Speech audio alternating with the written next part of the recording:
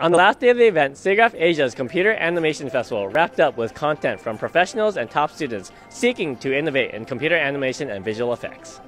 We want to be surprised. We want to be given, you know, hints as to what to look for in the future. So we want to look, we want to see stuff that is you, you know, made by this person.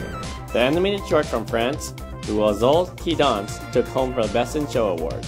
2018 also marks the first year of the virtual reality theater at SIGGRAPH Asia, which completely sold out.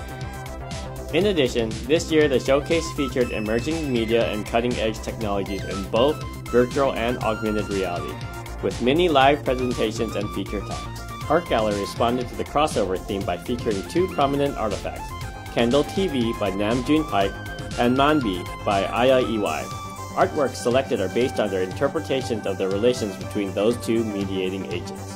Production Gallery was also a first for SIGGRAPH Asia, featuring the artwork from concept artists, matte painters, special makeup artists, model makers, and CG modelers within the feature film and game industry. And finally, we debut of SIGGRAPH Asia's first real-time live, where the most innovative interactive techniques are created and deconstructed live by their creators. This concludes SIGGRAPH Asia 2018 in Tokyo International Forum. Hope you all had a great time, and we look forward to seeing you next year.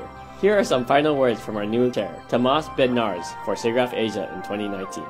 I hope you are enjoying SIGGRAPH Asia 2018 that will be held in Australia in Brisbane next year. I hope you're enjoying SIGGRAPH this year and start preparing your submissions for the next year. See you next year.